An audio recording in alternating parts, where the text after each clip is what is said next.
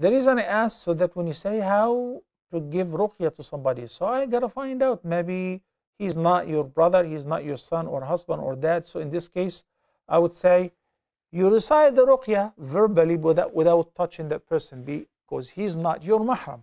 So your brother-in-law is not your mahram. So in his room, when you're visiting him, he can say, As'alullah al-Azim, Rabb al-Arsh al-Azim, an yashfiyak, seven times. This is ruqya. اللهم رب الناس أذهب الباس لا شفاء إلا شفاءك شفاء لا يغادر سقما This is ruqya. The reason I'm not mentioning the meaning because I've discussed that repeatedly and for the sake of time there are other callers. Besides Surah Al-Fatiha, it is one of the greatest means of ruqya. Ayat al-Kursi, ruqya.